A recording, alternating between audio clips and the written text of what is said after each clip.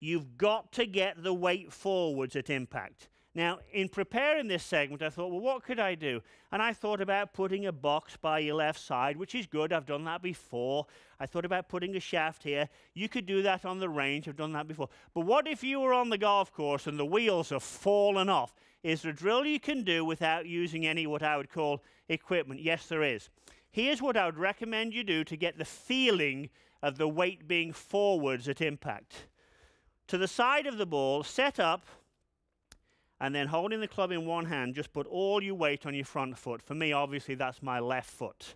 Now I'm going to put my right foot, my trail foot, back on the ground, just tippy toe, just tippy toe.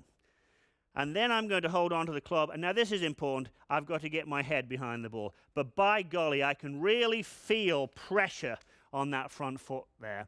And I could sort of rehearse a little bit of swing here. Yes, there's lots of weight on the front foot, and through I go there. So again, one more time so you've got that. A feel to find it on the golf course. Stand on one leg, use the club to support your other side. Tippy toe, that's all. Weight forwards, but don't forget this bit. Make sure you get this bit. Get the head behind the ball. Now, right here now is exactly the feel. That's my weight forwards, which really makes it very lightly. I'm going to be getting the ground either at or just in front of the ball. So let's see if I can hit one like that, trying to get my weight forwards. Head's going to stay steady, weight's going to go forwards. This is all to get the bottom of the arc in the right place, in the correct place. Here we go.